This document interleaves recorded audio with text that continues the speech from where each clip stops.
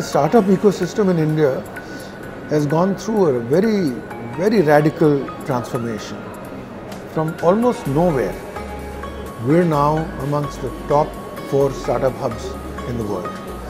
And we have 26,000 startups. What is happening today is that the environment of Silicon Valley is getting recreated. Entrepreneurs are feted. It's aspirational to be an entrepreneur. If you fail, you're still okay. People like you, they'll fund you again. Funding is available, angels are available. There are big markets within India to do things. The government is supporting.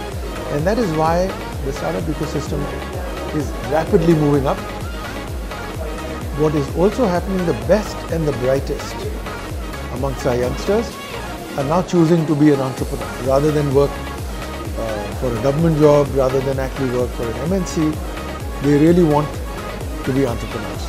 And when that happens, entrepreneurship explodes. Second great thing that's happening is they're no longer trying to do some Me Too idea. They're doing truly innovative stuff. They're trying to solve large problems that we have within India, challenges that have huge scale, and therefore these companies can do a lot of good societal impact, but they can also scale and be very successful, and therefore they can get funding. So I think it's rapidly scaling.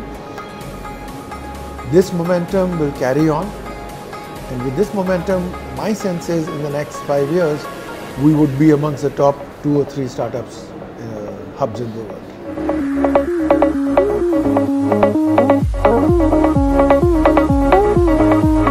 Sectors in which we have challenges in India is healthcare, affordable healthcare. That means everything.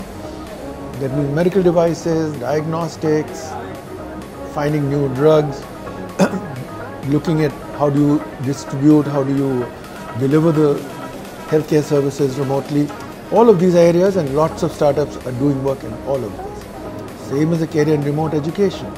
Then you have agriculture, productivity.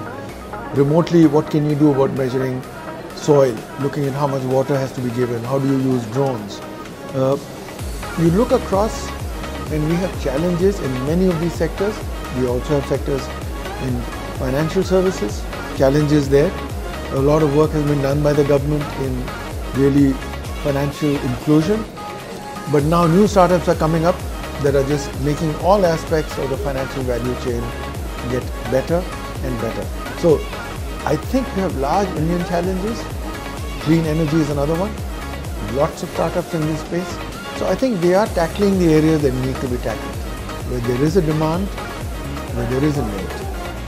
And, and I see this exploding because when they do this, they really have no competition except from others within India.